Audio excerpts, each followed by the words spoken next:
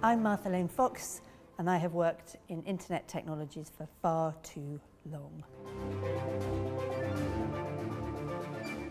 In the next five years, I think we're going to face the biggest challenges around the use of internet technologies. People talk about a splinternet.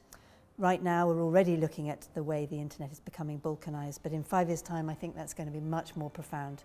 China's internet will be in competition to our European internet, which will have its own specific set of regulations and probably be counter to a Russian internet, perhaps even an Iranian internet, a North Korean internet.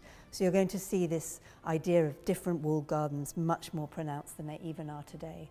I think that our concerns as individuals around privacy and surveillance issues are going to become even more front of mind. I don't know quite how they're going to be resolved.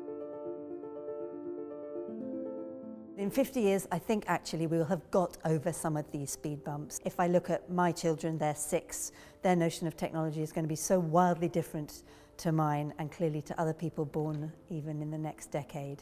It'll be like air, it'll be the connective tissue between all of us and I don't believe that will feel in such a difficult and complex and dark way. I think we'll get used to it. I think there'll be effective regulation around some of the things that we feel more anxious about and I actually think the capacity for human innovation and technological advances will be immense. I think the use of big data will have helped us cure dramatically complex problems such as cancer, such as the climate crisis. Not that they'll all be nailed, not that every single issue that we face will be sorted out, but I think we'll have made massive inroads. And I actually believe that this will be a golden age of how we use technology. Firstly, I think that we're already seeing it. If you look at where money is going right now into investments that are going to pay off on a much longer view, you can think about space and the use of technology to get us much further into our known universe.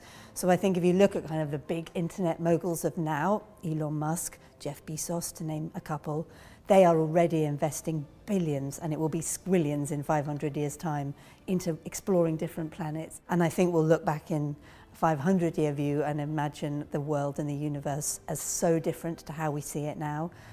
I don't know whether we'll be living on different planets, but I am absolutely certain that our Earth will feel small compared to the exploration that will have happened by then, often powered by the technologies perhaps that we're beginning to tease out today. The second thing is, if you look at the pace and acceleration of change, it is just breathtaking, and that is something that I think will continue forever.